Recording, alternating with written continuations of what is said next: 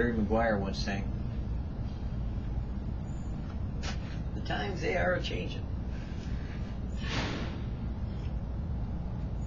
Some people know how to adapt to the times and the seasons and the years that they live in. And some people just let life hit them between the eyes. Really don't pay much attention to what's going on. They kind of get surprised by a hurricane or a fire, by a pestilence. You know, I I've been kind of paying attention a little bit. Not much, because I kind of got rid of most of my cable network news and got rid of most of my national news because I deal with that already anyways. So I really don't need to hear it from people who are trying to sell me, you know, the news in some prepackaged format. But, you know, I kind of was thinking about it the other day and living in the last days, you know, you, you kind of notice things, you know, like, well, West Nile virus, you know, the viruses are bigger, you know, this year than they've ever been. Ooh, that's interesting. Or that, uh, you know, it's been a hotter month last month than ever before recorded in history.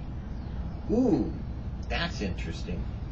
Or that, wow, we've got, you know, like hurricanes coming and though they come every year, just happens to be right in the path of some of the conventions. Ooh, that's interesting. Or that we're in a drought, you know, and it's right in the breadbasket of where most people count on getting their food from. Ooh, that's interesting. You know, I find it interesting that drought, famine, pestilence, even flooding, which in Vegas I guess has happened because there's been like flash floods because of all this kind of like weather systems, you know, things are changing. I've noticed also that in the news there's been these huge fires that are like, wow. Every year there's fires, of course, and every year there's floods, but this year there's been some really phenomenal extra hmm, burning of like a lot of forestry land. And wow, that's interesting. So you have pestilence, flood, fire, famine. Kind of wonder what's going on, don't you? I mean, I guess I could just go along with the whole idea that, well, you know, been there, done that. It's happened before, and it's sure to happen again. But you know, when I drink my coffee and I wake up, I begin to pay attention a little more to what's going on around me. You know, at first I may just flip on the TV and, you know, get bombarded with that. Or at least I used to, I don't anymore. Or I may just, you know, kind of like grab a hold of, you know, some kind of quick input, you know, from my smartphone or from my news alerts. I don't do that anymore. Because you see, I've been sitting down in the Word of God, and I've been reading about famines and floods and pestilence. I've been reading about fires and major catastrophes when they come upon a nation, when they are happening to a people. When God chooses to intervene in the heart of a nation and direct his attention towards that nation and to do things to get their attention. He uses famine and flood and pestilence and disease and earthquakes and fires. Matter of fact, what man calls natural, God says, look at me. I'm the one who made the natural. I kind of find that interesting. That the signs of the times are all about us. That we can either notice them and pay attention to what's happening in our world or even in our own land or maybe even in your own community right now as you see violence in more dramatic ways than you've probably ever seen before. I mean, where I live today, every night there's a murder. Every night. Because I live next to Stockton. You know, I'm not in Stockton, but I live next to Stockton. But the news reports kind of the area, you know, like Sacramento County and, you know, all the other counties that are around us. And because it does, I can tell you every single night that I watch the local news, there's a report of a murder. That's interesting. Every night, a murder. I mean, no questions asked. Every single night. And I can document it, which is interesting to me. So, in my local area, even, I can tell times they are changing. It is signs of the times that violence is becoming more violent. And the interesting thing is the murders are all done with guns, of course. And people say, well, you, what are you going to do? Bring up that debate about whether you have the right to bear arms? Well, I have the right to trust in the Lord with all my heart, leaning not to my own understanding in all my ways acknowledge him and he shall direct my path. And if God told me to get a gun, I probably would. But you see, I don't see anyone telling me Jesus said go get a gun. Never. That's interesting to me. Has he told you? Now, in these times that we live in, it's easy to make up connections. You know, kind of look at the overall big picture and say, oh no, the sky is falling. You know, and maybe, maybe the sky isn't falling, but maybe God is calling some of us to wake up and pay attention to the signs of the times. Because the world is changing, and it's not happening in a better way. So I don't know if you have children, and I don't know if you have, you know, a nice church that you live in and a nice, wonderful life that's going on, and you don't want to rock the boat, but God's about to rock the world. And it's going to happen in your generation. And it's going to happen very, very soon. And if you're not paying attention to the signs of the times, not only is it going to hit you like a brick, you're probably going to be either evacuated or your house is going to be burned down. Jesus warned of these days, and he said, I will liken these days unto a man who built his house upon sand. That had he done the things that I said, his house would have been upon a rock. But since he didn't pay attention to what I said to do, his house is built upon sand. And the storms came, and they blew upon that house, and it was cast down, and how great was the destruction thereof. But he also gave hope about these times. He said, But the man whose house was built upon a rock, he did those things that I told him to do. He listened to these sayings of mine. He was the one who kept these sayings of mine and attempted to do them. Him I will liken unto a man who built his house upon a rock. The storms of life came, but that house stood all the onslaught.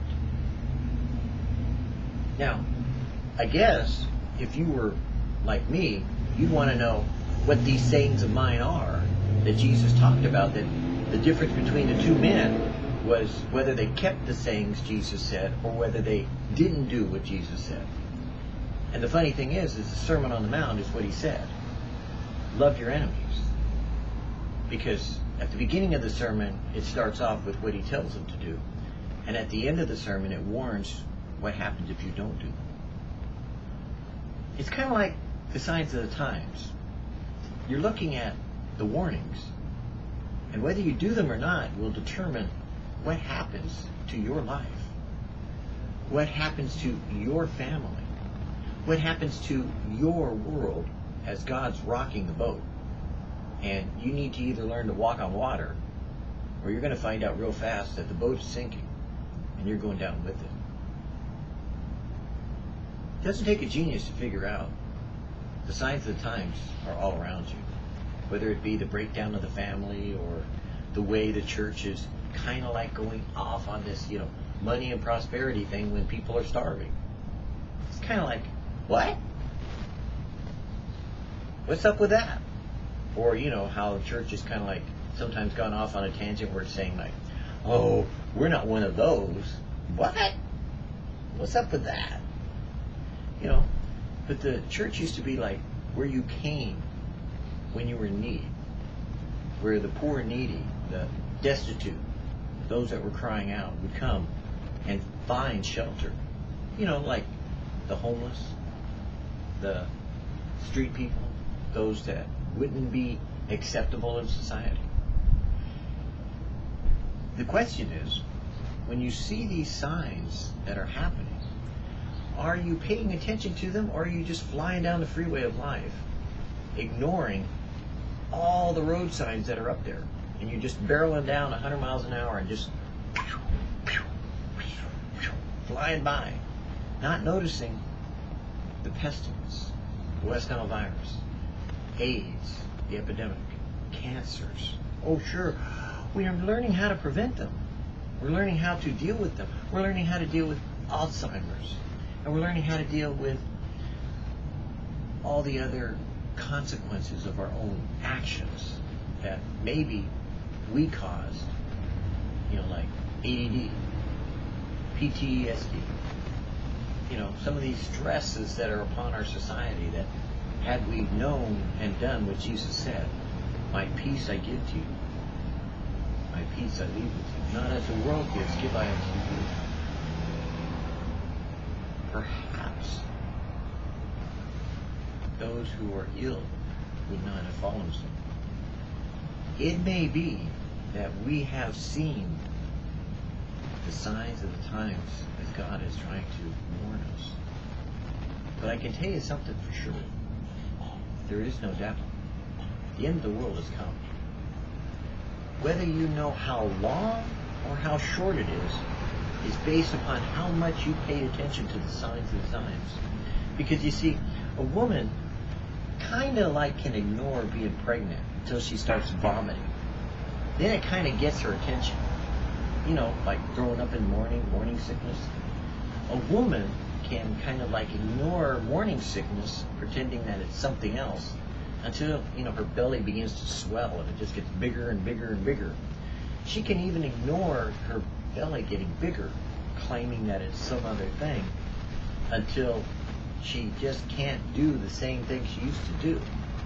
And then the first birth pain comes or the kicking and it just seems pretty obvious well of course you're pregnant but that person could still keep denying it until those birth pains are so painful that it's obvious or that the water bursts and then it's time jesus said you can tell the weather you look at the clouds and you see oh, they're dark and they're building and they're they're like big bulbous ones. They look like they're just ready to burst full of water. Or you can see like long streaks of it, you know, coming down, you know, off in the horizon, and it's winds blowing your way, and you can tell the rains are coming. They're coming. They're right on the horizon. He said, if you could tell the weather just by looking at the clouds, why can't you tell the signs of the times? Why don't you know it's the end of the world. I guess that's my problem today. Is that I've known ever since Israel became a nation that, hey, the end of the world's here. And I've just read recently that there's a huge movement of famous Christians that don't believe that Jesus is coming in our generation. Oh, we, we, we, we teach, you know, that Jesus could come at any time but not this soon. You know, we say that he's coming any moment now, but not really because we've already planned out our life.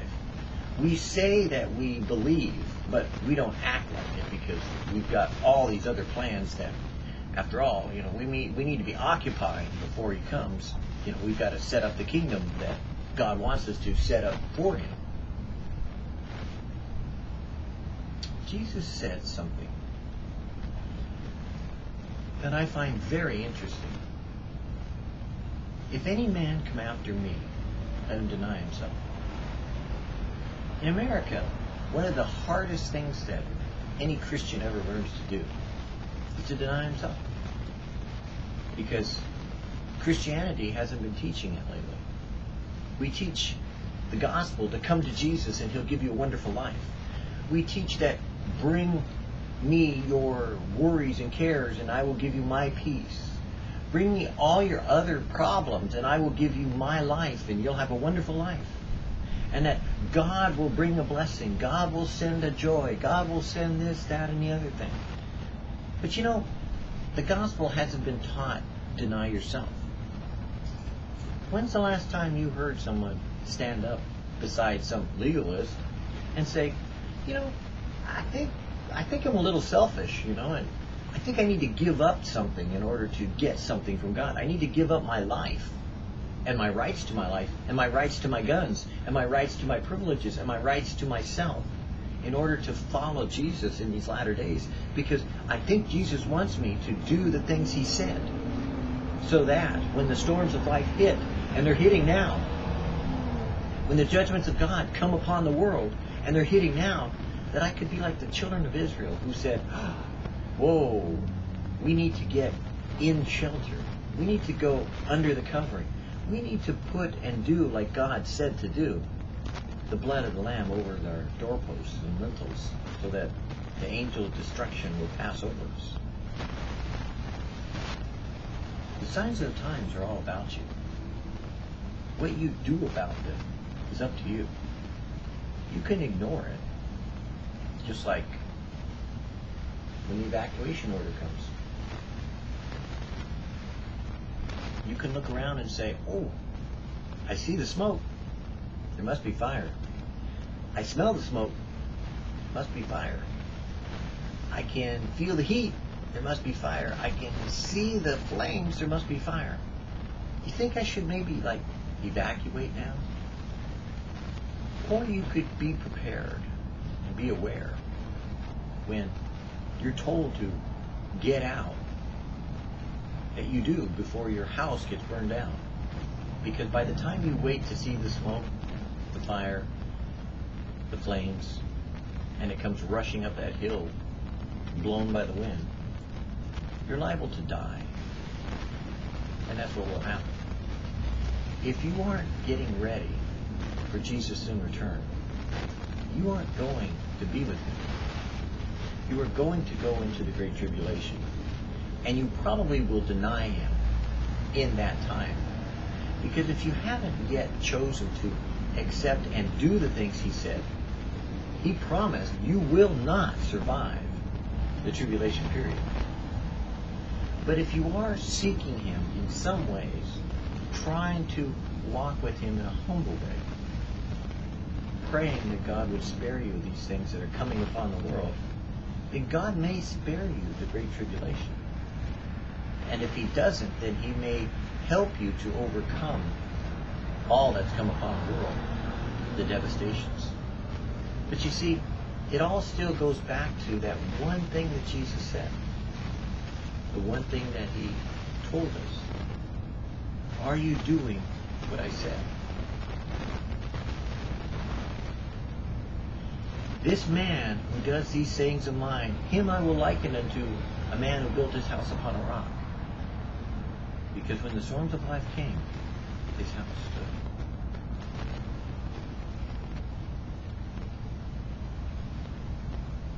I don't have to look very far to see the signs of the times. I don't have to look at the news.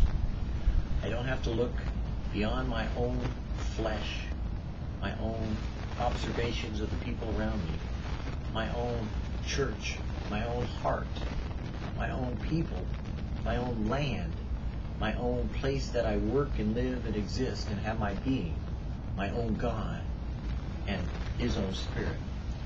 I don't have to go very far to know it's in the world. Hell is coming. And hell on earth will be here. Literally. For season, Satan is given a time when hell on earth breaks loose. And you won't survive it. You weren't intended to. You weren't created for hell. You weren't meant to go through hell. But hell on earth will happen very soon. Before it does, there's some little bit of deception that goes on, and you'll fall for it. Because God said you would. He said he would send strong delusion that they should believe a lie. I would suggest, in these times we live in, that for such a time as this, we would do well to heed the call, pay attention, do the things that Jesus said, deny ourselves, take up our cross, and follow Jesus. Because unless you do, you will not live through the signs of the times you're facing today.